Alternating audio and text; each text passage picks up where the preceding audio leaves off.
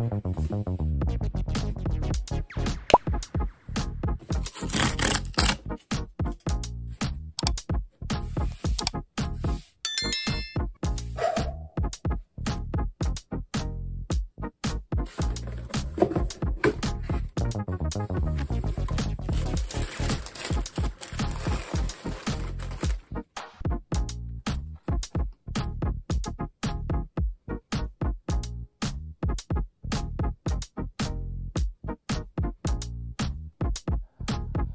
you